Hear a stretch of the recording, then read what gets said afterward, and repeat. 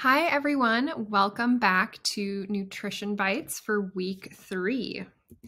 So, today we are going to focus on a lunch recipe. And so, our recipe is for chickpea salad sandwiches. So, this is kind of a plant based knockoff on a tuna salad sandwich. So, let's get into it. All right, so today we'll talk briefly about the recipe and the ingredients, then we'll talk about some benefits of legumes, benefits of whole grains, and then we'll talk about choosing bread options when you're at the grocery store. We'll look a little bit more at label reading, and then I'll present to you the weekly challenge. Okay, so here is the recipe for chickpea salad sandwiches. Now, this uses canned chickpeas, but you can certainly use your own if you've cooked them.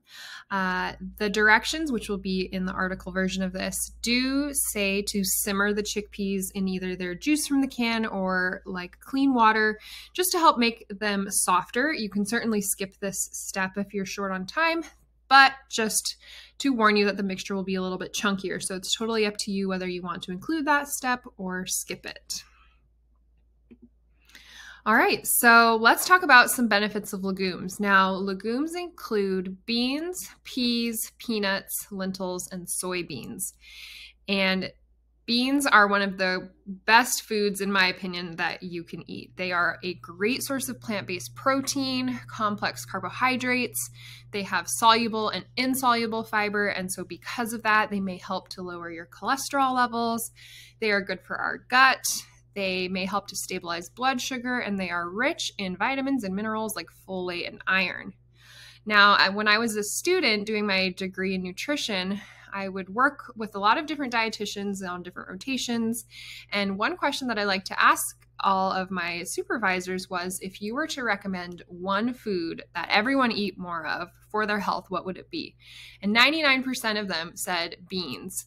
Uh, so I think that they are just a great food to either uh, consider adding to your diet if you don't already, or to add a couple more servings a week if you do already eat them because they have amazing health benefits.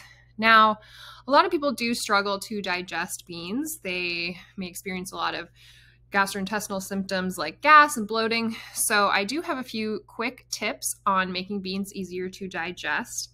I do want to do a whole nutrition bite session focused on cooking with beans in the future, but in the meantime, here are a couple quick tips. Uh, first, if you're using canned beans, is to rinse them and then simmer in clean water for 10 to 15 minutes. Uh, if you're making your own beans, soak them overnight, then discard that soaking water, rinse them thoroughly, and then uh, cook them in clean water. You can try to sprout your beans, and in the article, I will link a website that has instructions on how to do that. And the last one is to add a tablespoon or two of vinegar at the end of cooking. Now, you don't want to do it before you cook them because that will make them mushy, but right near the end of cooking.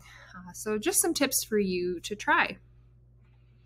Okay, now let's talk about some benefits of whole grains. Whole grains, uh, again, are a great source of complex carbohydrates. They are a good source of fiber, which uh, can help aid in digestion. They may help to lower your cholesterol. They also can be a good source of protein and B vitamins, as well as minerals like magnesium, selenium, and iron. And there are tons of options for whole grains. Uh, we have barley, brown rice, buckwheat, cracked wheat, millet oatmeal, quinoa, popcorn, and then whole grain products like whole wheat bread, pasta, or crackers. Okay, now I want to shift gears a little bit and talk about choosing bread options. This recipe, chickpea salad sandwiches, is a sandwich. So I want to give you a few tricks for when you're shopping for a loaf of bread at the grocery store. The bread aisle can be really overwhelming. Uh, there's so many options. So how do you know which one to choose? So here are a few quick tips to help you out. Uh, the first one is to aim for sprouted whole grains. And the reason for this is that when grains are sprouted, more of their nutrients become more bioavailable for us. So they're going to be a little bit higher in fiber and protein and vitamins and minerals. Uh, you should also look for the phrase 100% whole wheat on the loaf of bread instead of phrases like just whole wheat or wheat bread. Uh, because of like labeling regulations, if it's just says whole wheat or wheat bread, it's going to mean that it's not 100% and that there's going to be some other like white, um, more processed flours in it. So look for 100% whole wheat. Uh, next is to try a flourless bread. So Ezekiel bread is a really great option, and these are just going to be slightly less processed than you know your standard whole wheat breads uh, because they don't contain what we traditionally think of as flour. So they'll retain more of their nutrients. Uh, another option is to try sourdough. Uh, sourdough may have some benefits for our gut. And another option is to look for breads with added seeds and nuts. This is going to give a little boost of nutrients, more protein, more fiber. And then lastly, I want to talk a little bit more about reading the label. Now, here are some bread label examples. So on the left, we have a label for Ezekiel bread. And if you notice, it has only about 10 ingredients in the loaf of bread.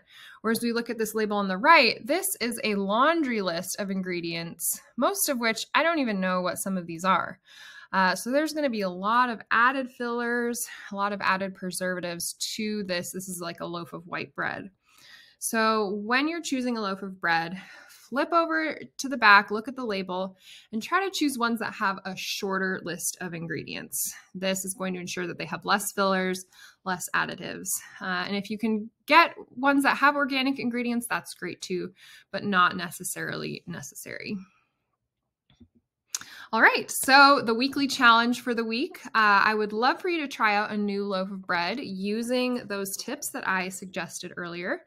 Now, if you already love the bread that you're doing and you feel like it's a really great option, I have a second weekly challenge option for you, and that is to aim to add at least one serving of legumes to your meals three times this week.